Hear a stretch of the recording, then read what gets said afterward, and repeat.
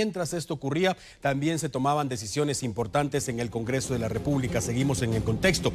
Después de que el gobierno de Guatemala decretara este estado de sitio en los municipios que acabamos de mencionar, en el Congreso de la República los diputados ratificaron esta tarde ese decreto que establece esta medida de excepción en ambos municipios de San Marcos por un plazo de 30 días con el objetivo de proteger la vida y preservar la paz de los pobladores. Este estado de sitio surgió debido a la persistencia en el conflicto que durante casi 90 años se ha mantenido en esas comunidades. Las autoridades encargadas de la seguridad ciudadana van a mantener presencia entonces en la zona de conflicto durante 30 días con el objetivo de que las cosas lleguen al final de, en la calma y en la paz, por supuesto. Como le indicábamos en la nota anterior, también se tiene previsto realizar las mesas de diálogo para que los líderes comunitarios también participen.